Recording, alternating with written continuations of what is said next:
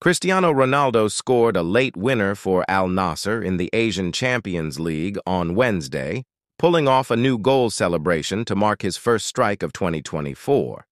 Cristiano Ronaldo debuted a new goal celebration after scoring for the first time in 2024. The Portuguese megastar bagged the only goal of the game in the 81st minute to give his Al Nassr side a 1-0 win away to Al Faiha in the first leg of their Asian Champions League round of 16 clash.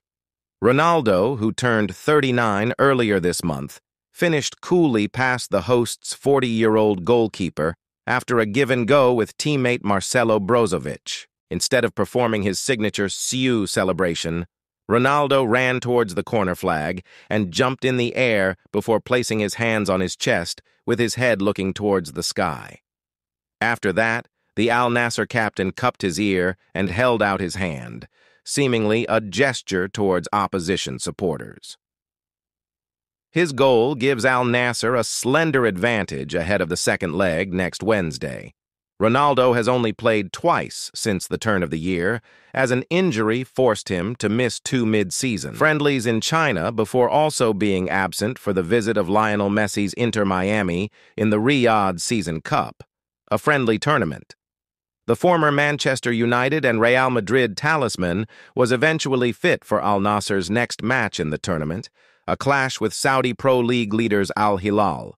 Ronaldo's rivals once again got the better of him and claimed a 2-0 victory, with the 39-year-old storming off after the trophy presentation, throwing his runners-up medal into the crowd. Clearly, the Portugal captain's passion is still there, with this summer's European Championships possibly being his final international tournament. At the recent Dubai Globe Soccer Awards, Ronaldo was asked about his retirement plans and replied, of course it will be soon. Soon I mean 10 years more. No, I am joking. I don't know. Let's see. With a staggering 20 goals in 18 games, Ronaldo is current the top goal scorer in the Saudi Arabian top flight. The five-time Ballon d'Or winner also boasts 205 international caps. But in a private conversation with Portugal boss Roberto Martinez, he revealed his next major target, he was very close to 200 caps, something no other player had achieved before, Martinez recalled. Of course, the conversation we had is private, but I can reveal one of the things he told me. I asked him if reaching 200 caps would interest him, and he told me 250 interests me.